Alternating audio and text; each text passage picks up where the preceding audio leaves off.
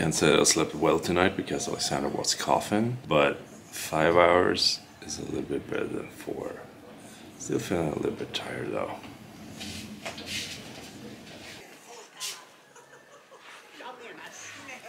I can usually manage pretty well without sleep, without uh, like shutting down my brain. But Amanda, on the other hand, she's one of those persons that needs sleep to be able to function. So today she's getting sleep in. Alex still has a little bit of a fever, but it's going the right direction.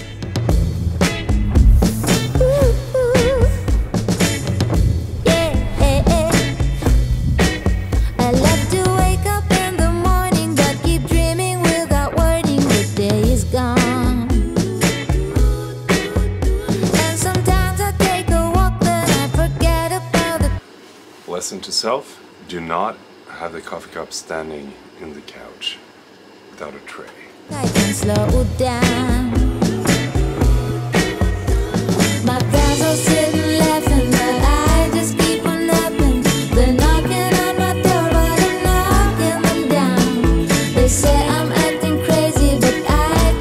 You, you should focus on that. You should try to get that off the off the ground, and then we can talk next week about this. Yeah. You so- you wanna you wanna say hi to the vlog? Hi, just feeling super down. I'll let you. I'll let you know why later. Sure, we'll let you know why later. I, I'm gonna I'm gonna let you know next week. If you don't follow Joey, head over there and show him some support.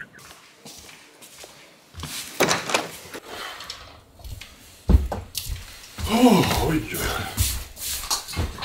I am just having a very quick visit to the studio today because I'm gonna head back into Gothenburg to make a recheck on the uh, surgery and how everything is going with the arm. And then I'm probably gonna have to head back to the studio because there's still a lot of things to do. And I want to talk about uh, vlogging and daily vlogs and things that we've been doing for the last two, two and a half weeks. Hey! Hey! är det bra med er?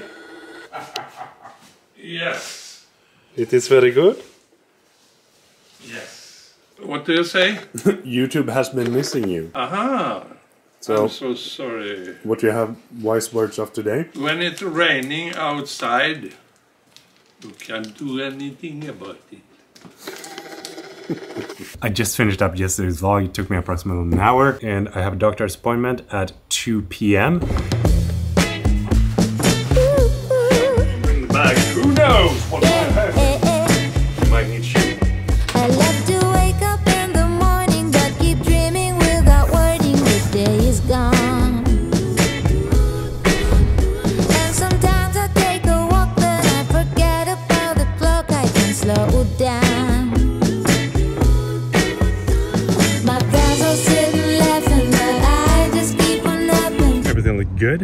No worries at all. I'm gonna wait uh, two months more before I go to the next visit, and hopefully I'm gonna be off blood thinners from the next visit and forward.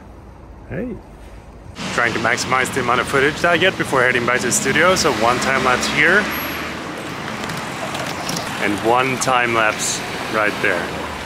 I usually let it run for somewhere between 5 and 10 minutes to make sure that I get enough footage that I can use in the vlog. One of the best things about going out to shoot time lapse, that's all y'all.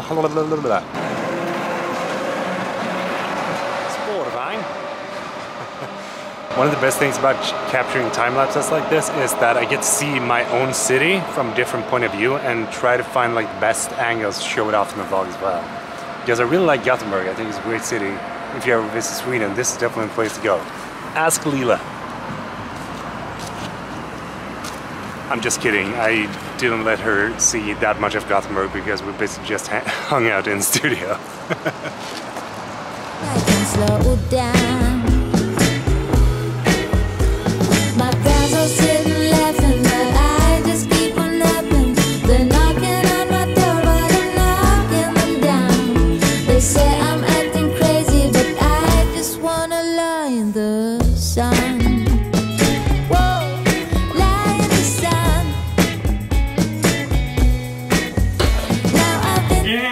back again. I wonder how many times I can walk through that door in this vlog, but I'm gonna settle for two.